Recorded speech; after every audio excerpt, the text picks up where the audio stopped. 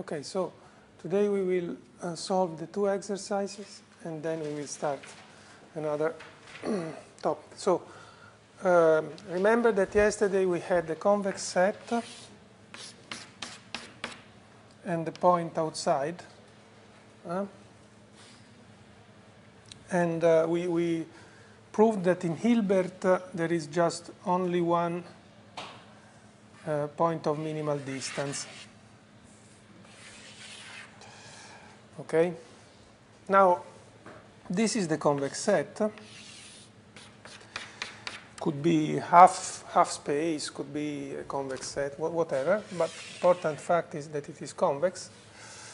Now, what happens if your, your, your C is instead a, um, a, a subspace?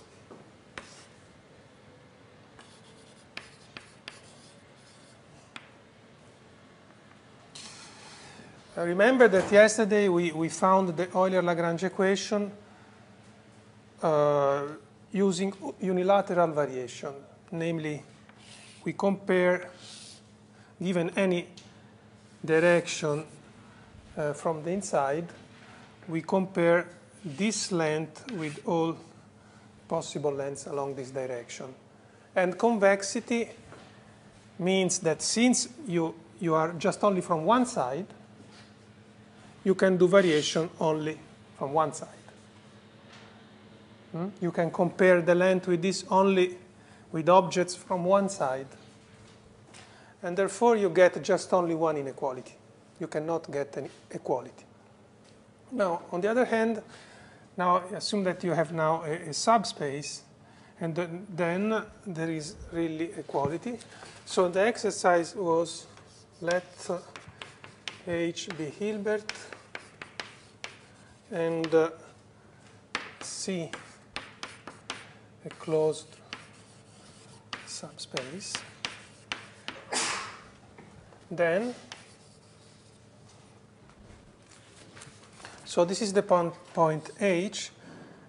Uh, in the Euclidean uh, world, this would be what we called X, the unique point X, that maybe sometimes it is denoted by P C H. So we have a map sending H into X projection, uniquely defined. Uh, so we have a map sending uh, this into this. So a map sending H into C. Uh, and this, this X is sometimes denoted by projection of H on C. Okay, orthogonal, say orthogonal projection. Okay, by orthogonal in the sense of the scalar product that you see from your unit ball. Hmm? So this, this is projection on the closed convex set C of the vector H. Okay. Now, uh, yesterday we, we found um, a set of inequalities, but now we have that this must be equal to 0 for any C.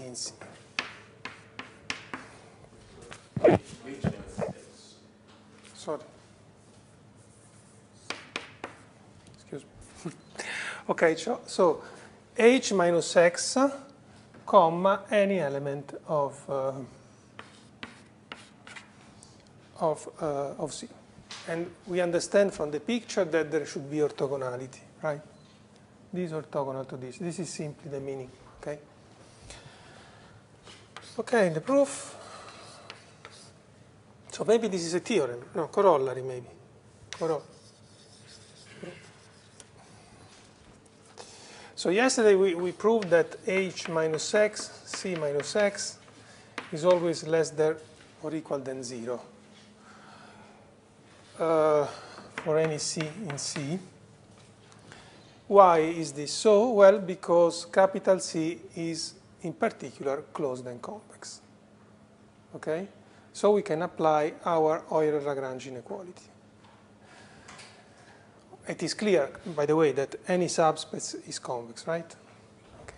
So we can apply, so this says that h minus x c is less than or equal than something which is independent of c on the right-hand side. So when I write a comma, and then here I mean for any c, see, just, just a way not to write the quantifier, okay? okay, now we have, so this is, G, this is just from convexity, but we can switch now the, the, the sign of C so that we can use the fact that capital C is a subspace. So if capital C is a subspace, then we, we also have what we didn't have yesterday. So we can change the, it is not, huh? So if this is a point, then also minus it, it is, is uh, if, if, if this is the origin, say, then, and then I have a point C, then also minus C is on the set. Hmm? Therefore, we also have here with minus c. And therefore, this must be also larger than or equal to, not only less than. If I put minus c here, I put the minus outside. Uh, and so, I mean, taking simply a variation of this sort, this implies that you have equality, necessary equal to zero. Hmm? Namely, essentially, you can, instead of uh, taking c, equal to 0. So instead of taking c, you can multiply, say, by any number tc with t in R. So if you use these new competitors, then you easily end up with the equality. Okay, so this is um, the first, but the most interesting exercise of yesterday was was the projection on polynomials. So the projection of polynomials uh, was the following. So the, the other homework exercise. Uh, ah, maybe we can complete also. So the map here, PC, is linear, is linear. Maybe this also check at home that this map, this projection map is linear. okay, for the subspace C. Hmm? Okay. Now, projection on polynomials, so we had uh, t cube minus the projection uh, of, uh, so C is the space of uh, a subspace of all polynomials of degree 2. Hmm? Remember? Huh? So now I take the unique projection on this on polynomial of degree 2. And so this, so let me call this um, this difference uh, t, uh, uh, maybe tau of t. And so uh, we, we know that uh, tau must be orthogonal to any polynomial of degree 2.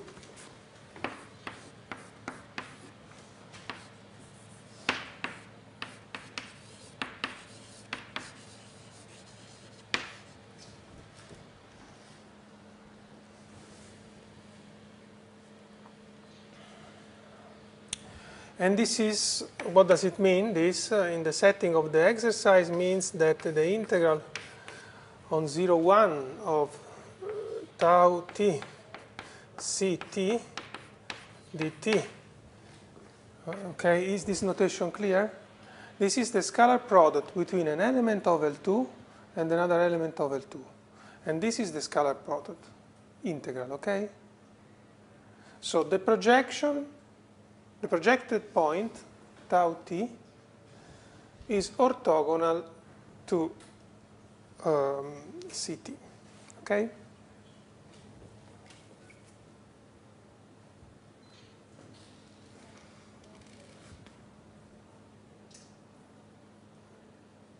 So uh, what we know is the following. So we have to find uh, this.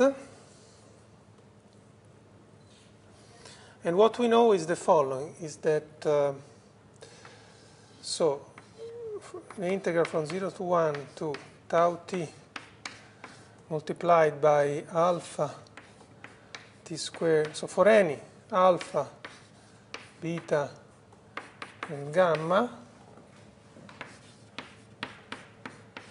this must be equal to 0, okay? Okay, so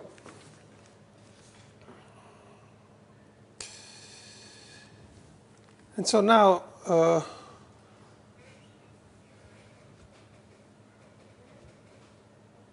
well from this you find the system but maybe maybe uh, we, it is not the case to make all computations. So from this you find the system taking, say, alpha equal beta equal 0 and then gamma equal 1, or alpha equal gamma equal 0 and beta equal 1, oppure this equal 1 and the other equal to 0. this gives um, system, uh, the system, I write it to you, is the following. Okay. So I don't, I don't do the, it here, just write the solution, but maybe plus equal to 3. This is obtained with alpha equal beta equal 0 and gamma equal 1. Then the other equation is 15 alpha plus 20 beta plus 30 gamma equal 11, 12 with now beta equal gamma equal 0 and alpha equal 1. And the other one, no, sorry, this, no, this is uh, alpha equal gamma, and this is beta equal 1. And then beta equal gamma equal 0 and alpha equal 1 gives uh, uh,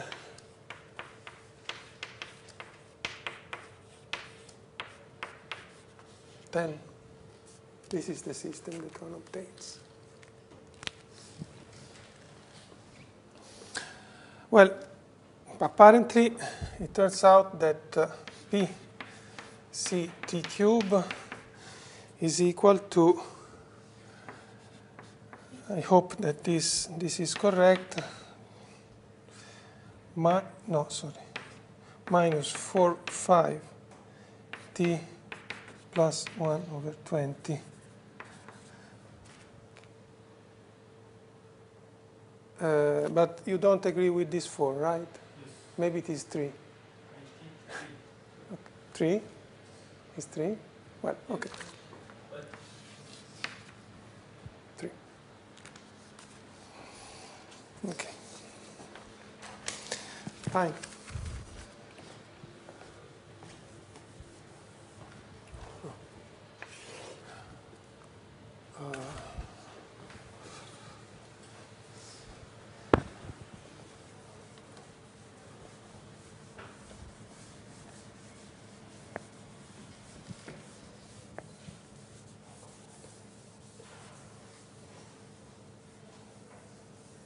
Okay. So now the main point of today is to prove, or at least to start to prove, the Riesz representation theorem.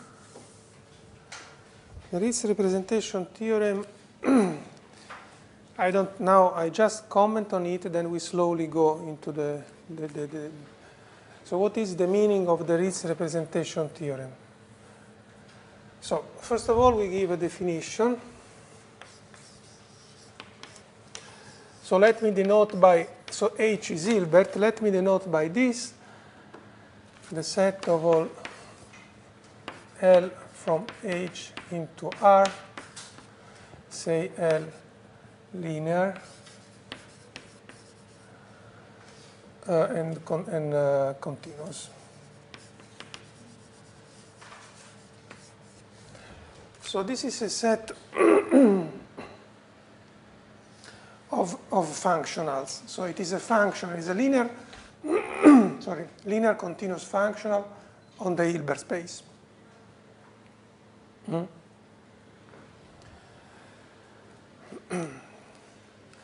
now, given any L, so maybe maybe a remark, so remark, a proposition, say. So proposition, the following are equivalent. Assertions are equivalent.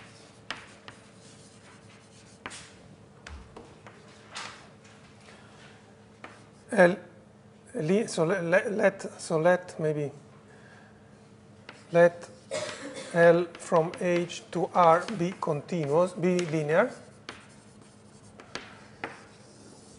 Then the following assertions are equivalent. L is continuous at 0. L is, say, continuous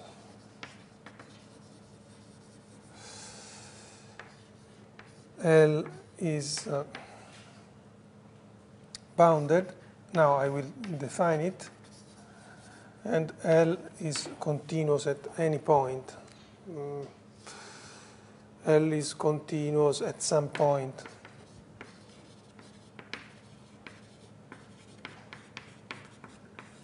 At some point h. So, given a linear operator, the, uh, the, the following facts are equivalent. L is continuous and L is bounded, essentially. And continuity can be checked just only at one point, or at some point, for instance, at the origin, which is easier, as, as usual. Now, what does it mean that L is bounded? So, definition, L is bounded, L linear is bounded. if there exists a constant positive such that L of h less than or equal h for any h in h. Okay? So why the word bounded? Well, bounded because it, it means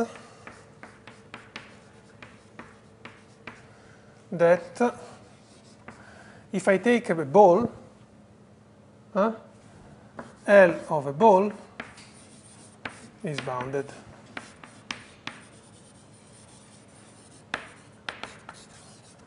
Okay, this is clear, right? It takes bounded sets into bounded sets.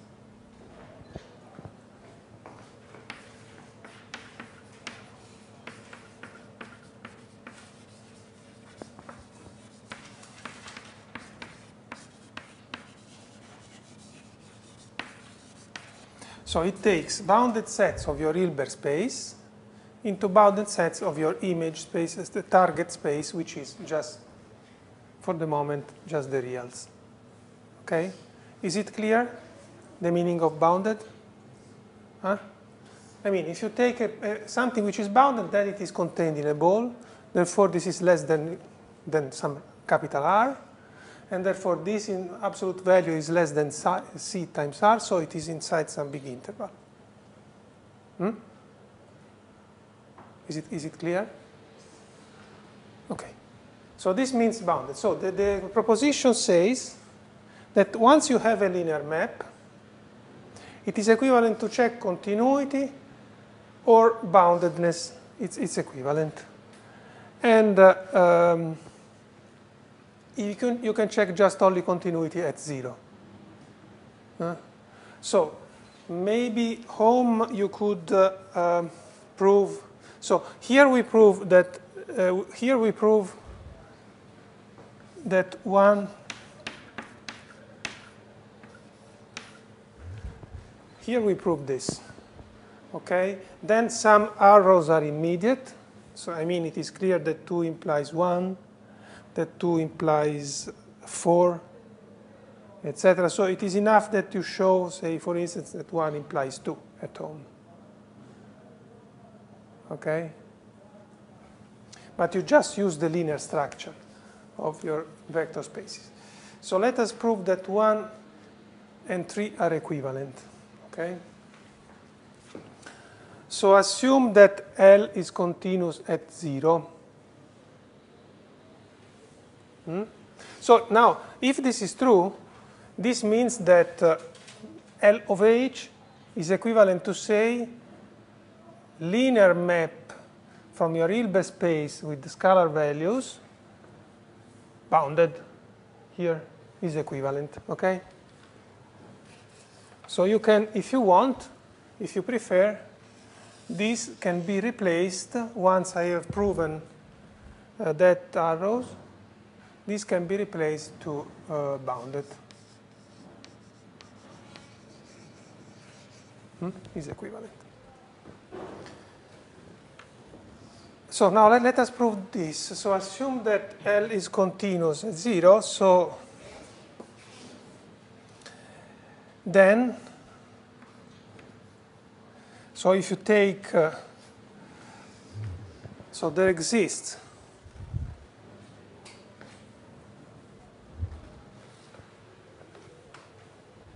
let me call it uh, there exists delta.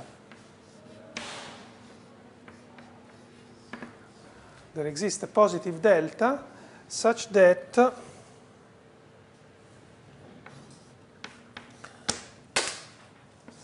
if you take the counter image, say, of uh, the unity interval, uh, a name for the R maybe.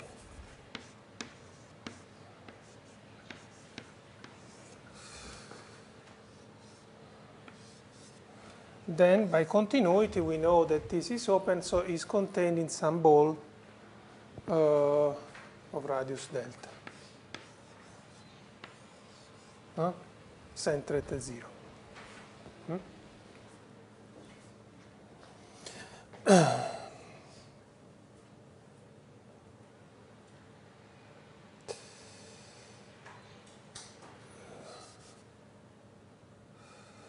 contains center at zero. Hmm?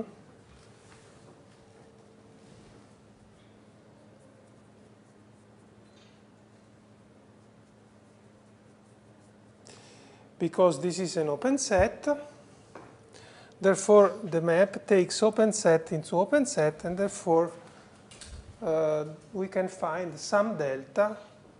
I mean, this is open in R, if by assumption L is continuous, assumption 1, eh? I am proving this.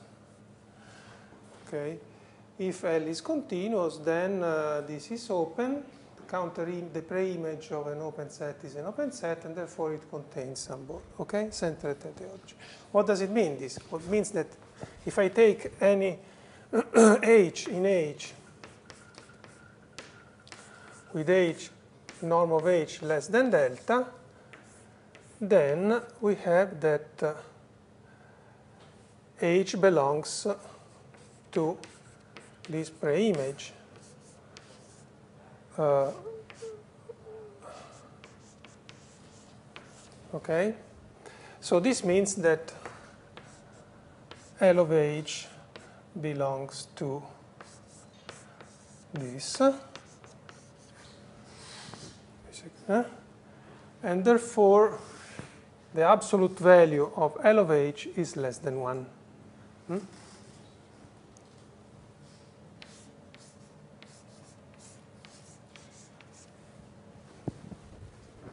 So what I've shown is that, that there exists delta such that if this is less than delta, then L of h. So let me, let me rewrite it here.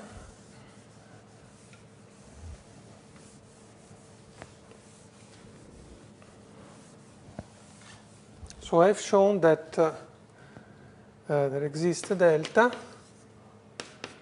such that h less than delta implies L of h less than 1.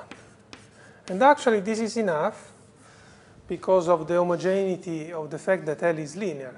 So I would like to prove, uh, you see, uh, I would like to prove this uh, uh without any restriction. So now take any h. Take now any h in h. And so we have an inequality just only for those h uh, satisfying this. But this does not. But now I force it to satisfy it by dividing by the norm and multiplying by delta. So now I, uh, so maybe I change, uh, I change letter, take, take uh, uh h like this, okay? So now define this as uh, h, so assume that this is non-zero, so divided by its norm multiplied by delta. Okay? In this way, we are almost in a position to apply this implication, but not quite, because this is equal to delta and not less than delta. So I cannot really apply this implication to this choice of h right? If I would have less than or equal, then I could. But I have the strict inequality for the moment. So just now, um, it is also clear that I can suppose that this is non-zero, right? Because if it is zero, I am already here. Now, it is sufficient now to take small epsilon and not less than delta. Well, not, not, it's not so, uh, the problem is not so serious because I can take uh, now a small epsilon positive and define instead the new h, which is delta h, script h, divided by script h plus epsilon. In this way, surely now we have that this um, this now is less than delta. Hmm? Okay? Hence, I can put this h here. And therefore, I know that this is less than 1. Okay?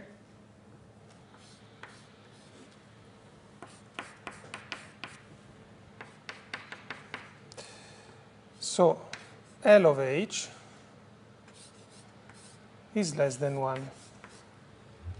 But L of h is uh,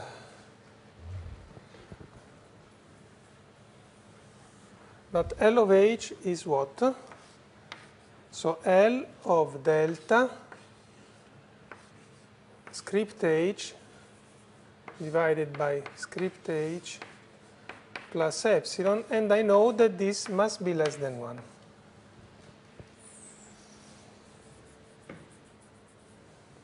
Now I use the, the homogeneity, I mean the fact that L, capital L is one homogeneous,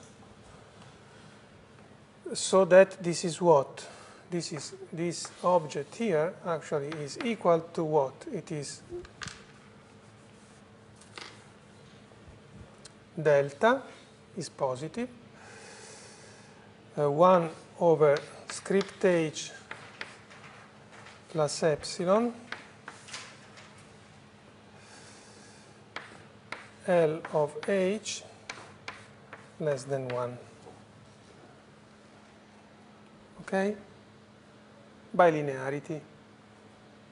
Hmm? This says that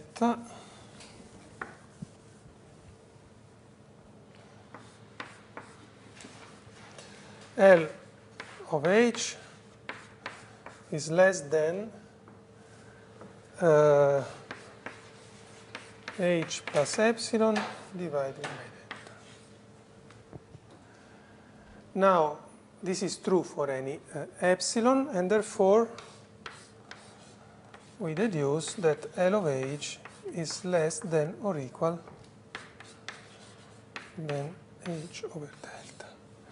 And therefore, uh, the constant C that we require is just 1 over delta. Okay? So the constant C exists and it is equal to 1 over delta. Uh, this is true for any H. Eh?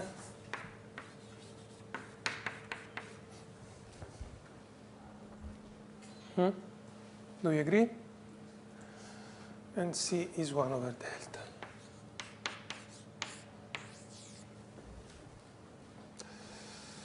Okay. So we have shown that 1 implies 3, namely continuity implies boundedness. Now we show is that boundedness implies continuity. Huh?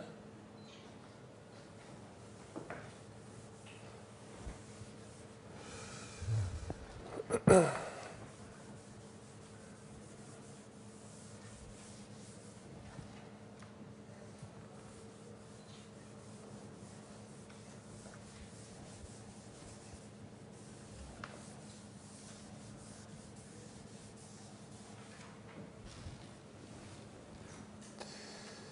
So we know that there exists a constant. So fix epsilon positive.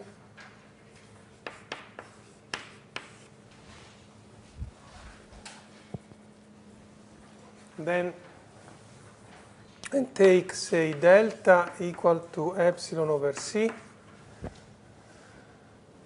Then if h is less than delta, it follows that L of h is less than epsilon. Okay? Because we have less than or equal than c times epsilon c. Over. Also, also, by the we have the Lipschitz of L.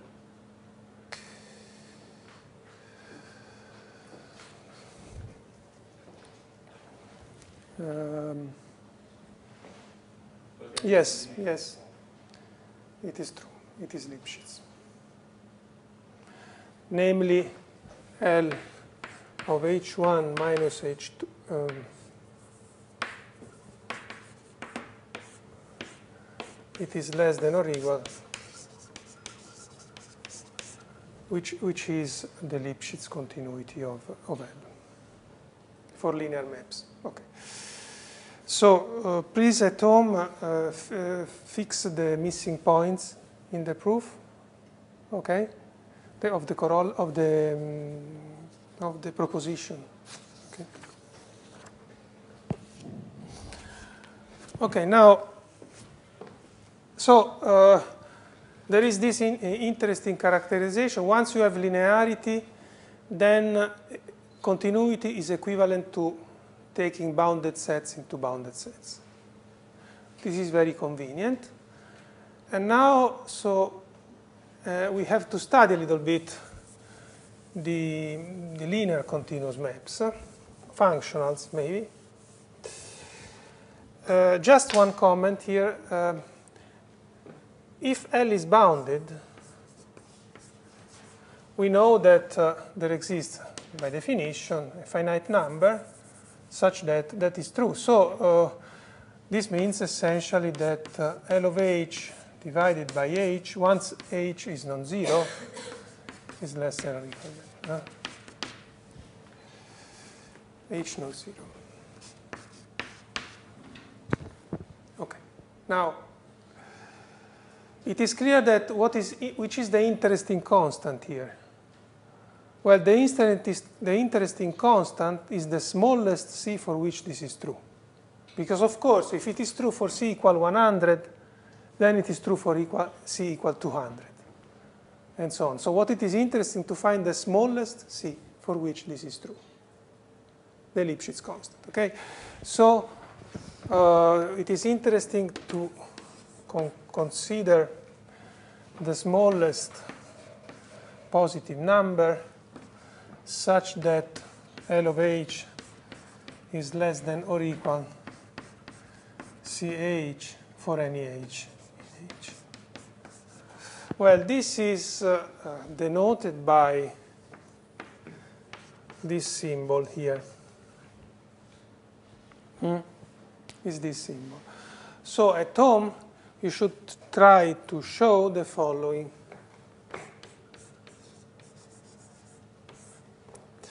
So this is called the, the norm of L.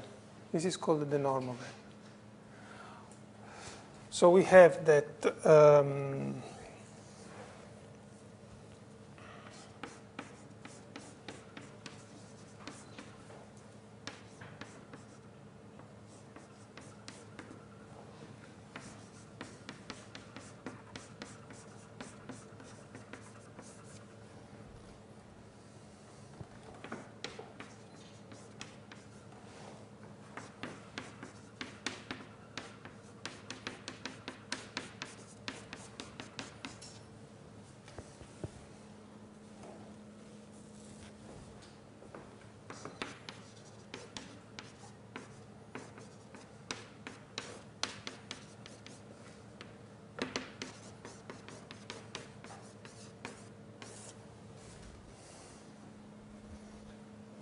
So you could try to prove one of these equivalent way of defining the norm of a linear functional.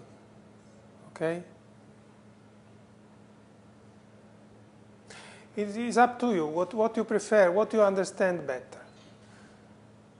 Any of these, uh, uh, these uh, expressions give you the, the, the, length of the linear functional, the, the norm of the linear function. Okay? Now this is a norm. You can check it is a norm. Okay, and it is a norm, and the space of, I mean, this is a norm, and actually L of H is a linear space, is a vector space, uh, and this is a norm on that vector space. Hmm?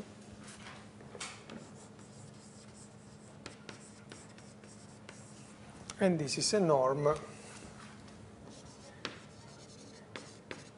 Now,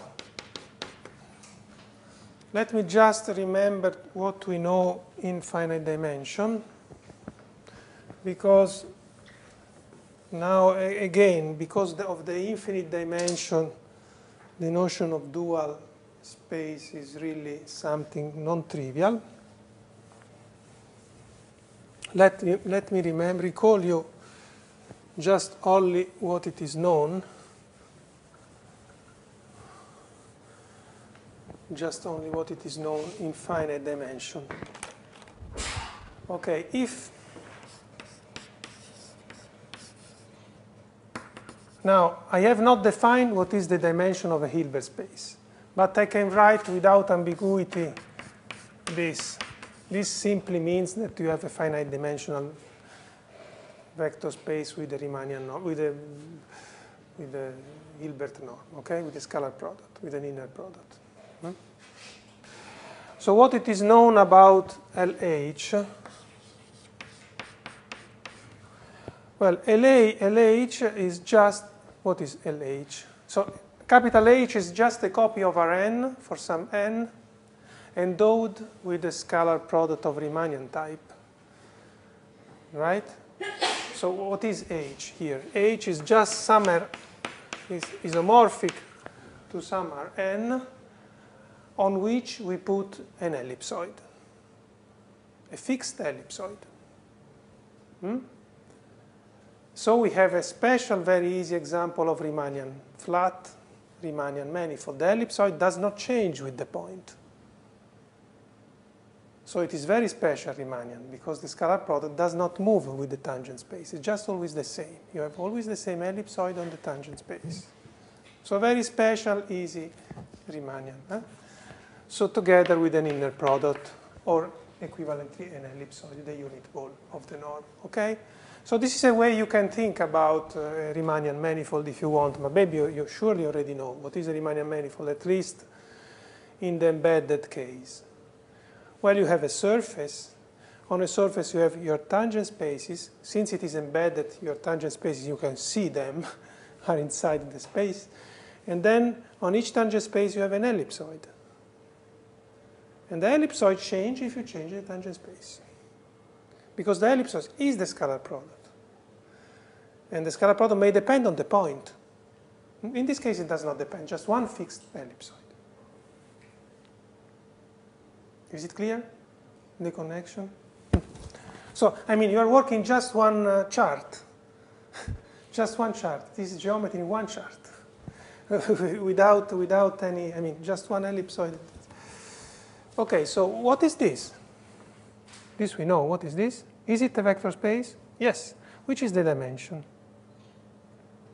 n. So this is isomorphic to Rn, and therefore these two are isomorphic. They can be identified. So once you have um, finite dimension, ah, by the way, of course, uh, L of h, you don't even need to write uh, continuous or bounded because any linear map is automatically continuous in finite dimension. So any linear, so this is just the space of linear maps. Automatically they are continuous, or bounded is equivalent. Okay. Uh, and also this is isomorphic to, the, to H itself, and therefore if I do it twice, L of L of H, again I find something which is isomorphic to H. Is it clear? This is the picture. So you don't need to uh, require continuity. This is automatic. And this is nothing else, another copy of Rn. Huh? The norm is not the same. Huh? If you're starting, uh, if you're starting from, okay, if you start from a round sphere, Euclidean, exactly, then that is exactly the Euclidean. But uh, if you start from an ellipsoid, then this is, the norm here is not the same ellipsoid. Huh? It's just modification. But anyway, still, huh? we can also write the basis. If you have a basis here, then we also write explicitly another basis here. You know, this is the analogy that we have uh, uh, between, uh, if you want, uh, vectors and covectors also in differential geometry. Okay? One vectors and one covector just the same. Hmm? Okay, so infinite dimension, so uh, at the end, uh, when we perform this operation of taking linear continuous functions, we don't find any new space. We, we always have the same copy of the same n-dimensional vector space. Well, the point is that in infinite dimension this is not true anymore, unfortunately. And this probably you already know. I don't know if you know. But uh, standard examples are not in Hilbert setting, but uh, in Banach setting. It is well known that if you start from a Banach space, infinite dimensional, then you take the dual, then you take the dual of the dual, and you don't come back to, to your initial space unfortunately. L1, L infinity, dual of L infinity is not L1. Eh? We will come slowly to this point, just to let you know that now we are just generalizing the notion of dual space. Sometimes denoted also by, uh, well, maybe I'm not, uh, sometimes this, but also sometimes also this. Now I don't exactly remember, the, I don't know exactly. I don't know, I don't remember. The book of Brezis maybe is H star. Fine. Okay, H star. Okay, we can adopt maybe H star if you want. But maybe also H1 is, H prime is also very, very common as a notation. Eh? So remember that this is all. Uh, why this distinction? Well, because in principle, this is called the topological dual. Topological dual meaning linear continuous functions. But if you just require linear functions, then you have another notion of dual, much larger, which is called algebraic dual. Hmm? And that could be uh, denoted with another symbol. So uh, anyway, we don't we, are, we never consider algebraic dual here. We are interested in topological dual, so we require continuity. Okay? Hmm? Okay, uh, now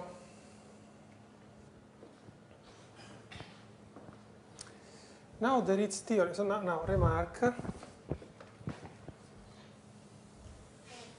examples of uh, it is interesting to remark that there are, in infinite dimensions, linear discontinuous map. maps. There are. It's not true that any linear map is continuous. Okay? We will see examples, but um, let us see first examples of linear continuous map. So take fix once for all an element, non-zero element of your Hilbert. And then you can consider the following map.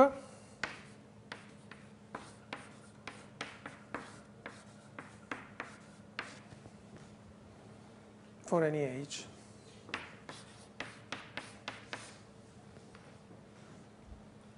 Okay? Check at home that this is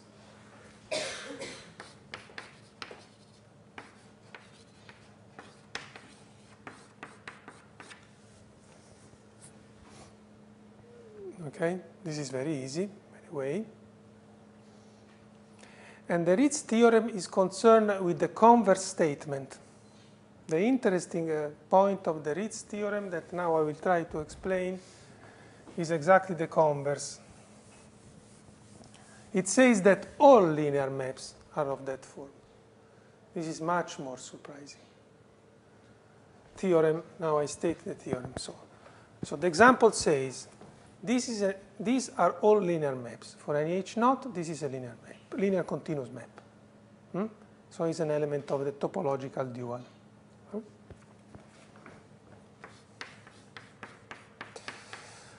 Now, theorem.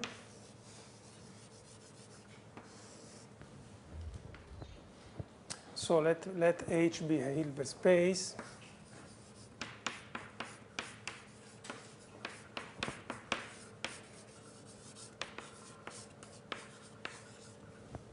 Let L be linear continuous functional on H,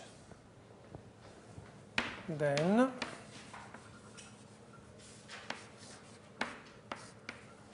exists a unique, let me denote it by H naught,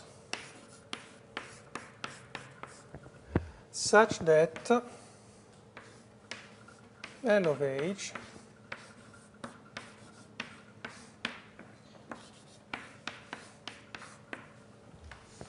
moreover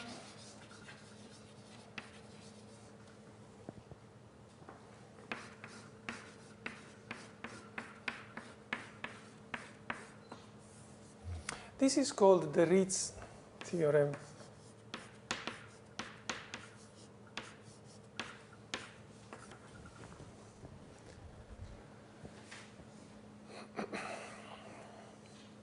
So it says exactly the converse statement. This, this statement says that these LH naught are bounded linear functions. This is the opposite. Take any bounded linear function, then it is of the form it is of the form L of H naught for some H naught, actually for just one H naught. This is much more huh? much more unclear in some sense, right? This is the content of the Riesz theorem.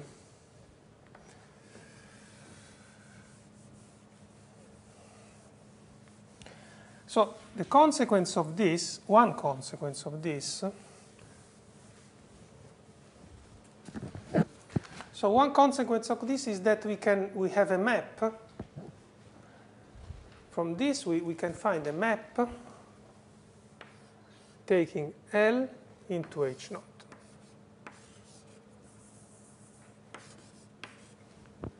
Hmm? So it takes any point in, uh, uh in the dual and associate uh, uniquely another point in the Hilbert space. Not only this,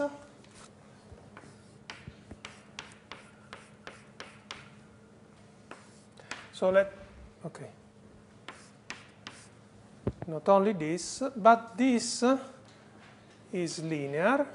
This, uh, this map taking this into this is linear. Uh, and also this is an isometry because it preserves the norm. If this has some norm in the source, then the, the, the image has the same norm. So it's a, the isometry between two metric is an isometry between two metric spaces. One H star and the other is H. Okay? So this is a consequence of this. Now,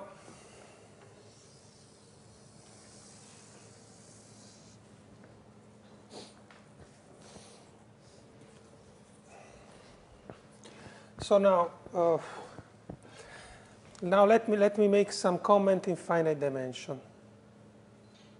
A picture on what does, what does this mean in finite dimension. At least we try to see what does this mean. Finite dimension.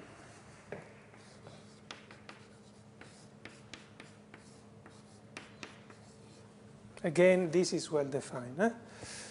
So what is a linear functional, non-zero, say non-trivial, linear function on a Rn? How can I identify it? how can I think about a linear function? Okay, this is some, what, what do you think? When, when I tell you, okay, this is a linear function from Rn to R, what do you think? Well, there are...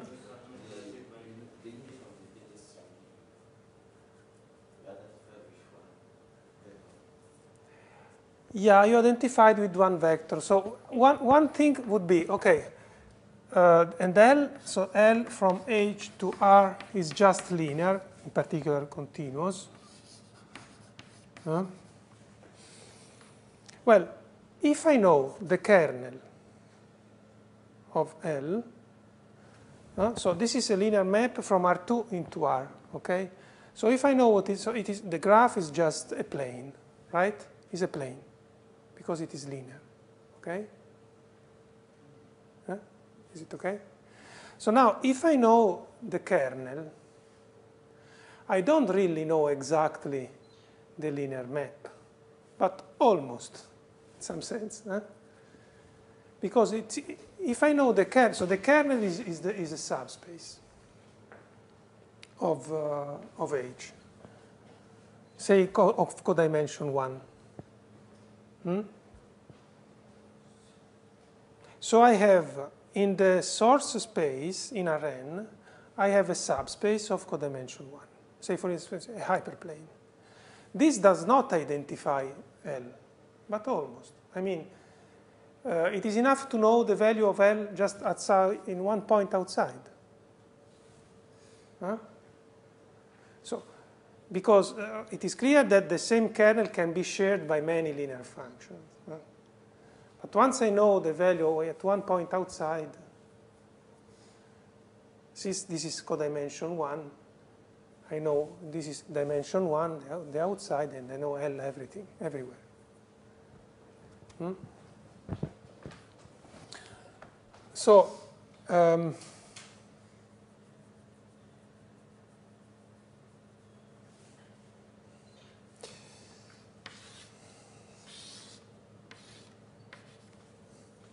so this is my uh, the graph of my linear map. I, I know I know the kernel and I know the value in one point,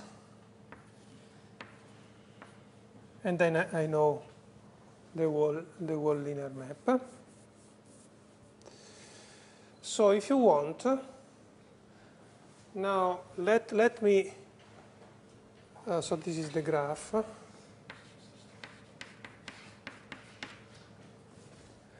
Now assume now I, I, I am in A, this is now I am in H, and this is the kernel.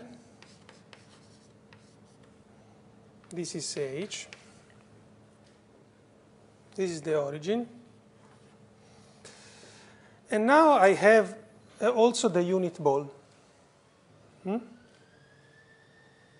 Some strange unit ball.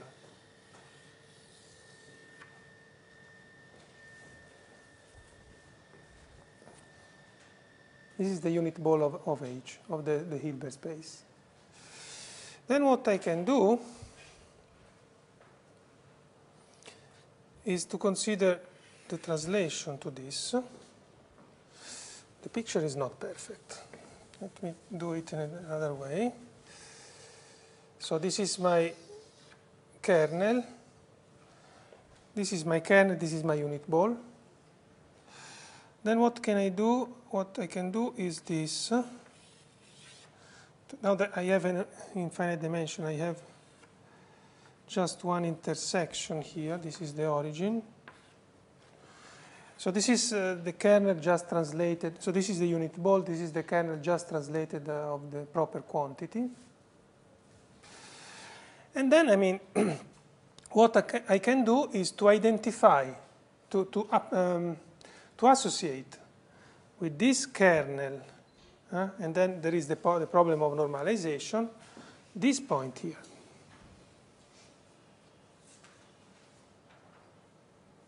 You see? To this uh, linear subspace, hyperplane, I have the unit ball, and then I can associate this. Point here. This is close to the to, to H naught. This is all essentially, so given uh, your L, this is up to a constant factor, essentially it is your, so the, the, the, the this is this this this point here is of course a point of of uh, of h. So what I'm saying is that I'm associating to this uh, to this uh, vector subspace, the kernel of L, I am associating this vector. Essentially, it is somehow, in the Euclidean case, it is clear that they are orthogonal, right? Yes, essentially. Just? Yeah, now, now I have to say, indeed, one point is to say how long is this H naught. But geometrically, I, I think that the, the, the, one of the idea is that uh, you, you fix a hyperplane, and then you can associate to this hyperplane the intersection of a parallel of it, or minus, yeah, minus it also, uh, with the, the, the, boundary of the unit ball with that, uh, with that parallel translation. And this unique intersection essentially is your H naught. So this is a way maybe to associate uh, to a half to a um, one codimensional space subspace a vector like this. Of course, this is I mean there are various things to understand. One, we are in infinite dimension, so it is not clear what is the, the boundary of the unit ball. We don't know. We have never defined the tangent space to the boundary of the unit ball. Very difficult. We cannot. Uh, not only that, but uh, well, again, I think that it is true that in infinite dimension uh, the kernel is one codimensional. So infinite, infinity minus one. uh, so, but let, let, us go into the proof of the the Riesz, the presentation.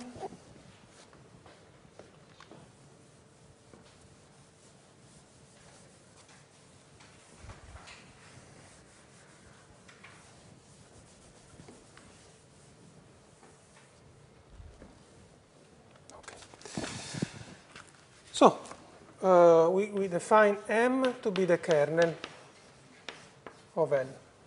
This is a definition. Okay. So proof define the kernel of N. Then there are two cases. Well, if M is, is H, if it covers all your Hilbert space, then L is identically 0. Everything is in the kernel. So L is identically 0. Uh, and therefore, we can simply take H naught equals 0, and it satisfies all assumptions. Hmm? Because uh, this is 0, this is 0, 0 equals 0 is okay.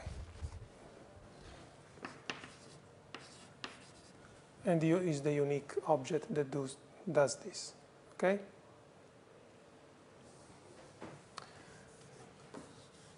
So we can assume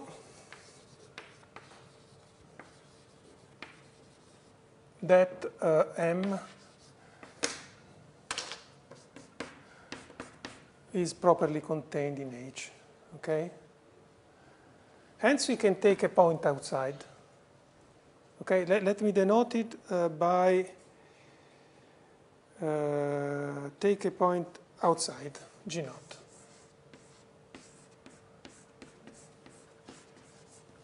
Hmm? So G naught is outside of M.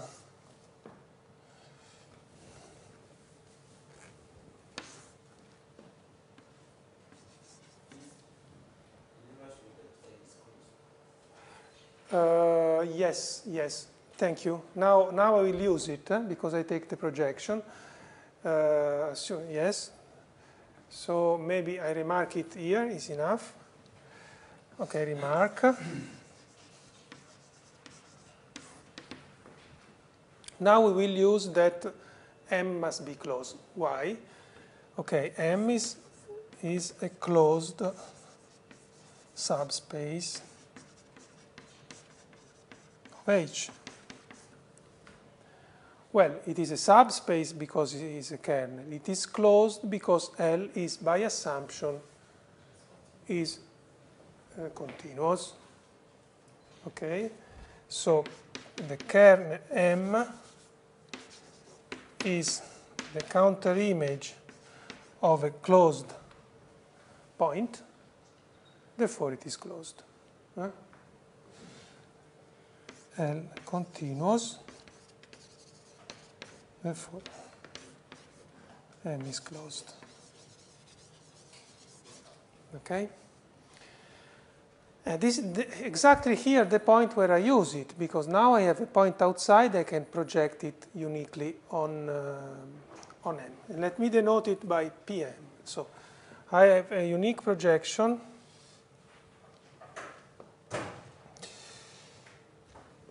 So take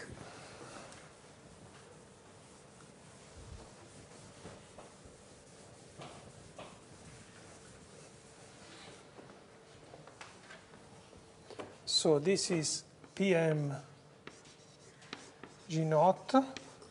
So this point here is uniquely defined by what we have seen at the beginning of the lecture, because this is a closed linear subspace.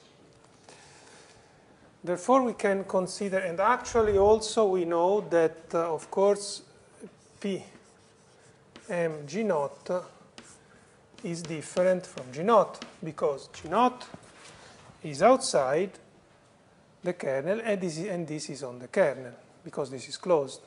Hmm? Therefore, we can take now the difference, G naught minus Pm of G naught, and we can divide it by the norm. And let me denote it, this, this, this object here as f naught. This is well defined because the, the denominator is non-zero. Okay, and this is in the unit ball, of course. So what I'm doing is the following. I take this difference and I normalize it. So now, uh, if I imagine that this is the origin for the moment, then I have my unit ball. Okay, so let me, so this is too large, so this is, let, let me denote it just by x. Huh? Okay, this is also uh, x. And this is also x. Then I have my unit ball.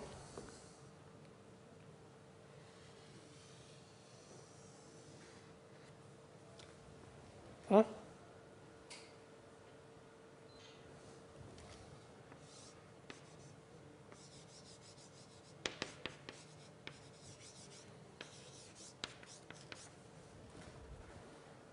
And therefore, what I'm so this is f naught, just f naught.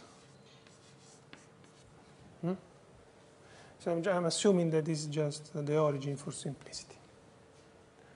Okay? So that is f naught.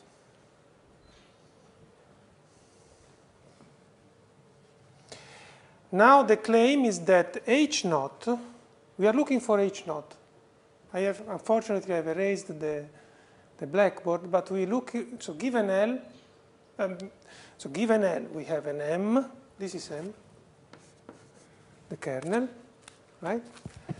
We are looking for some H naught, and we will take at the end H naught parallel to this F naught, as we, I, I was trying to explain at the beginning, 10 minutes ago. Okay? So now let me try to show you. So at the end, uh, H naught,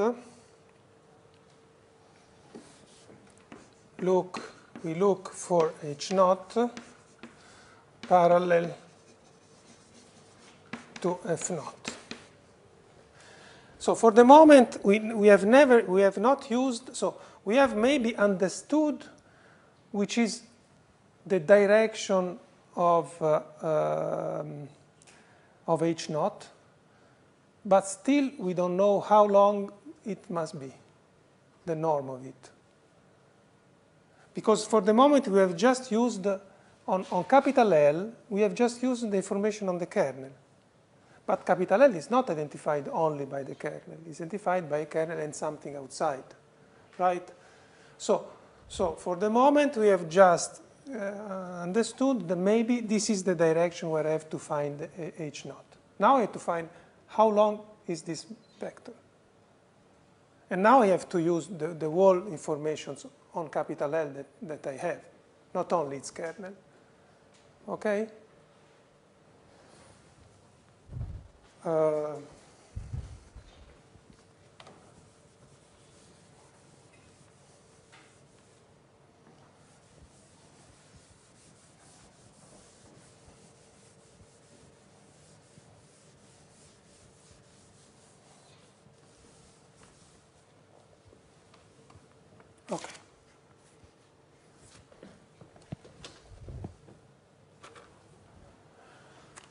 So, um,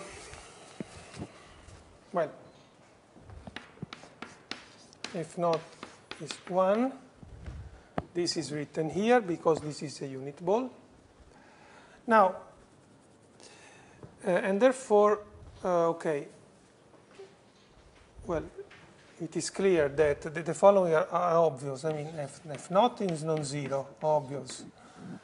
Uh, L f naught, f naught does not belong to M because L f naught is non-zero.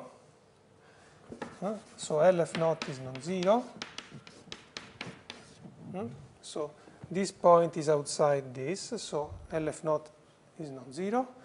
And then what else? Uh, uh, well, and f naught is, uh, let me say, is orthogonal to m. So we know that f naught, let me introduce, okay, f naught against m is equal to 0 for an in This is the, these are the properties that we know on f naught, okay? This is uh, because remember f naught is a projection. is along, I mean, is, uh, is uh, G naught minus is, its projection. So therefore it is orthogonal to, to M. Okay, so now take any h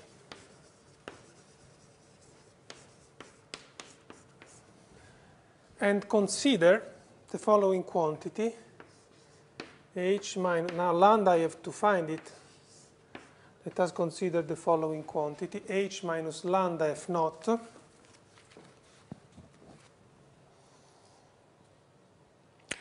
and I want this to be in, the, in, in M.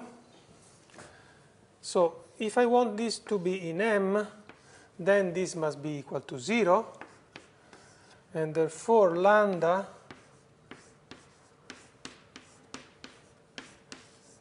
lambda, now so I, I can take lambda as equal to uh, L of H divided by L of F naught. I can do this because L of, L of F naught is non-zero. So this I can do. So summarizing, given any H, define this quantity with lambda equal to this. Okay? Hmm? So with, if, if, if we define if we define lambda equal to this, then this is equal to 0. Therefore, uh, h minus L of h divided by L of f naught belongs to m. Hmm? Right?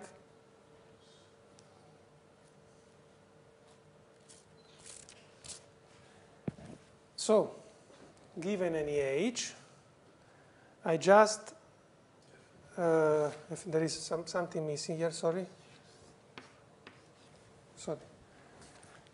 So, uh, given any h, uh, I subtract, I subtract from h his normal part, I would say. So I subtract from h its normal, its orthogonal part to m, because this is orthogonal, so this is orthogonal to M. I subtract its projection on the orthogonal line, so what remains is tangent, I mean is, is, in, the, is in the kernel. And therefore, once we know that is in the kernel, we know that this must be orthogonal, this is an element M, so must be orthogonal to F naught. Huh? And so we write down now this, this. So so the idea is now, we have identified a direction, say. Take any h. Take the tangential component of h along this. I mean, subtract to h its normal component. Huh? So it remains a point in this capital M.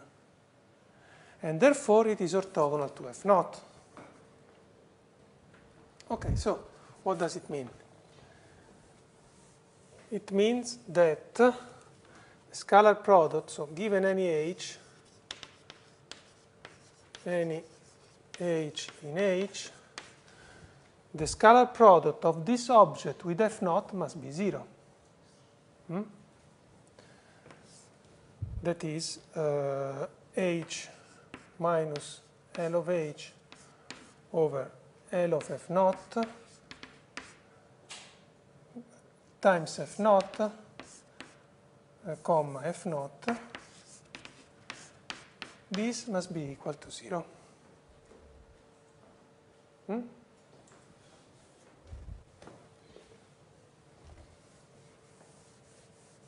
Is it okay up to now? Huh? Is it clear? It's okay? Clear?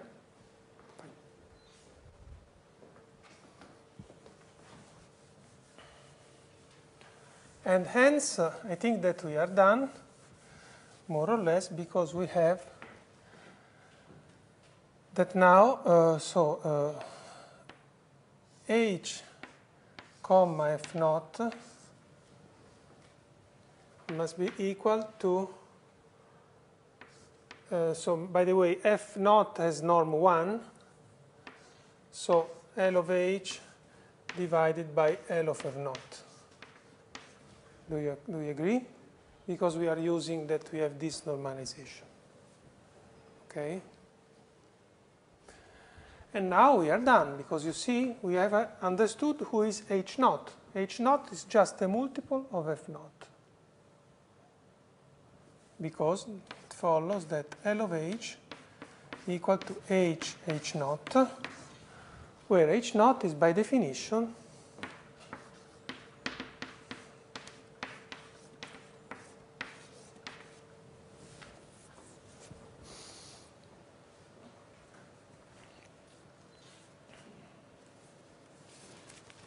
Do we agree? So the idea is, is completely geometric. Apart from the fact that we have to find this quantity here, which is due to the fact that we cannot know all the linear map knowing only the kernel. But at least if we know the kernel, we understand which is the direction of H, of H naught. And it is this. So this is orthogonal to this, in some sense. And this is the identification metric. This is metric because if I change the, the unit ball, I change H, uh, H naught. You see, also in finite dimension. If, if I want to do this, this, this, this in finite dimension, even in R2, if I change my scalar product, I mean I rotate a little bit the ellipse, then there is another H naught.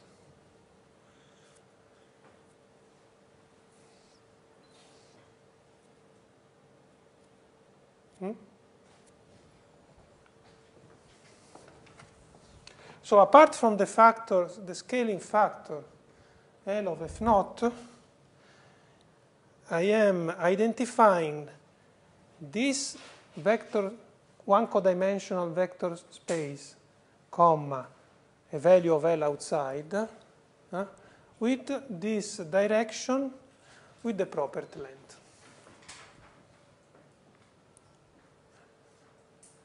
Okay, so this is the duality map between uh, the dual and H. Huh? This is the, the it's never easy. It's never easy to really manage with these duality mappings, huh? even in finite dimension.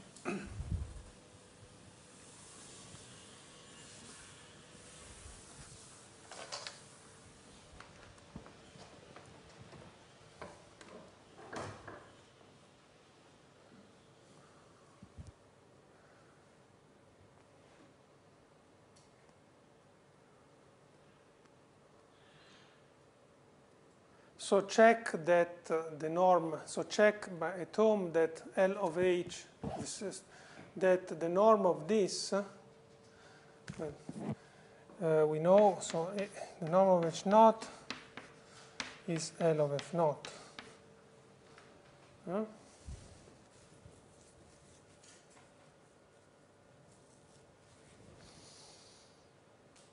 And check that this is also equal to normal L. Hmm?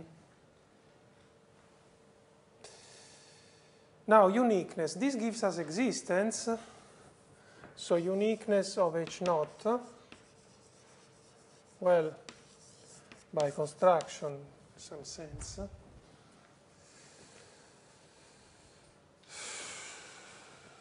So, but, but assume that there is another one, so H naught prime assume that we have two of them making the so we know that L of H is equal to H H naught but also H H naught prime for any H in H.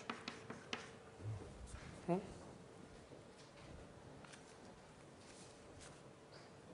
So this means that H H naught minus H naught prime is equal to 0 for any H Therefore, it is enough to test this with h equal to this difference.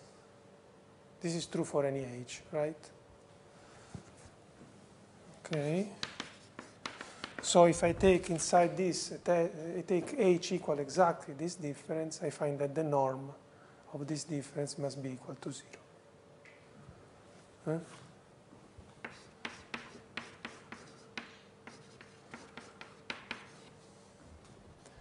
And therefore I find that uh, h is equal to h naught. A, uh, sorry, h naught, my, sorry, h naught, h naught, sorry, this a, h naught minus h naught prime.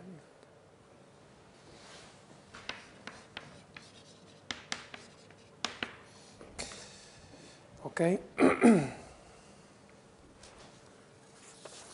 okay, I think that for today is, is enough. Finally, so from the next time, we will start with Banach spaces. I think that now you have sufficient experience on infinite dimensional vector spaces with, a, with an inner product. Therefore, and, and this is a deep theorem, by the way, even if the proof is not difficult. It is just, just a consequence of the projection theorem. Once you know how to project on a co closed convex set, then you have automatically this theorem. So Riesz, I mean, if you want to, to look from the outside now, you see that Riesz is just a consequence of the projection on convex sets. So really the projection is something important. Uh, but this has a lot of consequences also from the conceptual point of view, which are never easy to, to focus. Uh, in any case, we have the experience of some infinite dimensional uh, Hilbert space. So from, from, from starting from tomorrow, Banach, we go quickly to Banach. And uh, maybe we will skip some proof that you will find in the Brezis book because, I mean, we have not so much time at our disposal and I would like to come also to Fourier analysis. And uh, so maybe I will not prove everything that I will say tomorrow. Okay.